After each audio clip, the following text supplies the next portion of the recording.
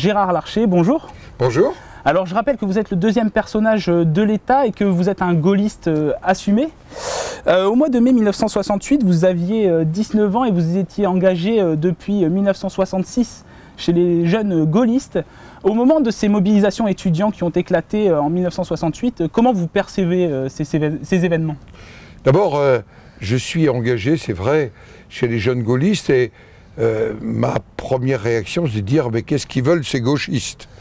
Euh, En même temps, je perçois euh, qu'il y a là un mouvement de société et en même temps, c'est le reflet de très nombreux jeunes engagés, engagés politiquement, engagés syndicalement, engagés aussi dans la vie des aumôneries ou spirituelles. Et cette réalité-là fait que nous sommes assez nombreux, euh, euh, j'allais dire, à avoir euh, une appartenance politique, en tous les cas des références politiques. J'ai le souvenir de copains plutôt à gauche, d'autres plutôt à droite, de centristes. Et cet engagement, euh, c'est pas uniquement un ou deux dans une classe de première ou dans une classe de terminale. Et donc pour moi, euh, je vis 68 engagés comme jeune gaulliste et comme jeune gaulliste qui entend soutenir l'action du général de Gaulle, mais qui en même temps mesure que cet engagement est aussi le questionnement, le questionnement de la société de 68, après une période extraordinaire, j'allais dire, de croissance, euh, nous n'avions aucun problème pour trouver un emploi euh, à la sortie de nos études. Nous avions plutôt le sentiment qu'on vivait euh, de mieux en mieux chaque année, mais en même temps peut-être que notre génération avait aussi l'interrogation quelle sera ma place dans les décisions de la société? Alors je rappelle que le général de Gaulle est au pouvoir depuis 10 ans puisqu'il accède au pouvoir en 1958 vous dites qu'il y avait un certain questionnement. Euh, sur quoi ça reposait ces D'abord, le général de Gaulle, c'est c'est pas dix ans de pouvoir, c'est une épopée. Euh, c'est dans l'imaginaire euh, d'un jeune comme moi qui a va avoir 19 ans. C'est l'homme qui a redonné à la France son honneur. Moi, je vis en Normandie, dans des villes qui sont en reconstruction après les bombardements. Et ça m'a marqué. Moi-même, euh, je suis un enfant qui euh, se voit intégrer une maison reconstruite après les bombardements. Euh, maison qui est affectée à ses parents. Et donc, cette maison, quelque part, elle est le symbole du renouveau de notre pays. Et on le doit au général de Gaulle. Alors, bien sûr, il y a dix ans de Ve République, on a presque oublié euh, que la génération précédente, elle partait faire la guerre en Algérie. Euh, on a le sentiment d'entrer dans une société de consommation et en même temps la préoccupation de pas simplement être des consommateurs. Euh, on a, me semble-t-il, le désir, où qu'on soit sur les chevaux politiques, ou syndicales, on a envie d'être acteur. Et quand vous voyez que le gouvernement ordonne peut-être une répression sur ces jeunes qui manifestent, qui ont, quasiment votre âge. quelle réaction vous avez? D'abord, les jeunes, ils n'y vont pas, euh, euh, j'allais dire, euh, à moitié. moi, j'ai des souvenirs très précis, puisque je suis en classe préparatoire vétérinaire. voilà que des jeunes veulent m'empêcher de passer le concours vétérinaire. Mais je vous cache pas, j'ai pas fait le coup de poing, mais quand même pas loin. En même temps, j'étais engagé puisque je représentais les classes préparatoires euh, au conseil d'administration. Vous voyez, je n'étais pas passif.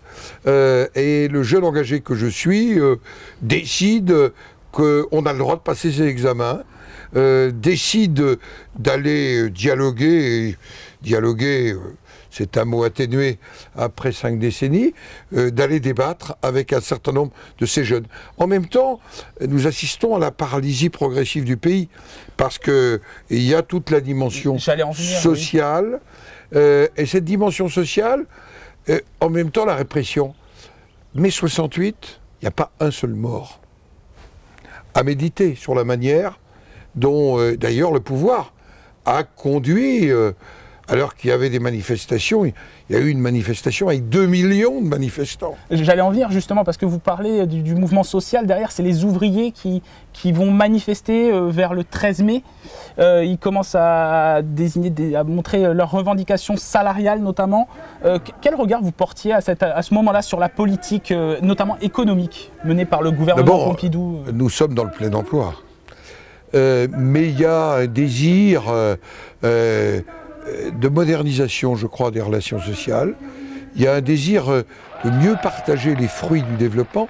Et d'ailleurs, c'est une partie euh, du projet du général de Gaulle qui n'a jamais vraiment abouti, qui est l'intéressement et la participation.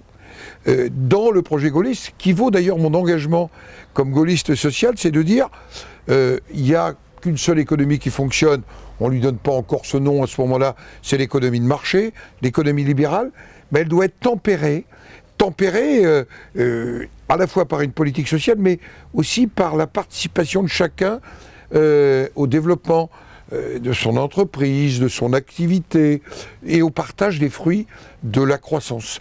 Et ça, je le comprends assez bien. Et il faut le dire, le président Pompidou, pour lequel j'ai un immense respect, il n'est pas très favorable à l'intéressement et à la participation.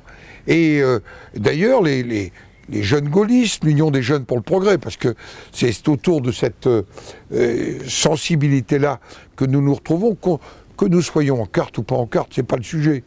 Euh, ils ont envie d'aller plus loin dans la dimension sociale. À la fois, ils s'opposent aux étudiants gauchos, souvenez-vous, ils étaient Mao, euh, certains étaient encore néo-staliniens, et pour nous c'était inacceptable, d'autres étaient ce qu'on qualifiait d'extrême droite, mais était dans une nostalgie de l'Algérie française. Je dis ça parce que le classement automatiquement à l'extrême droite, c'était une nostalgie. Et nous, on se dit, le général de Gaulle a bien conduit la décolonisation, il a redonné l'honneur à notre pays, il a proposé le développement, et c'est vrai que la société s'interroge. Un an avant, le général de Gaulle accepte la proposition de loi de Lucien Neuwirth, la régulation. Euh, vous savez, Lucien Neuwirth, j'ai eu l'honneur de siéger avec lui bien après. Euh, on l'appelait le père la pilule. Mais c'est une révolution culturelle. Il faut bien le mesurer. Et le général de Gaulle l'a accepté. T'es sans doute pas dans sa pensée de base. Et on sent une société qui veut euh, évoluer.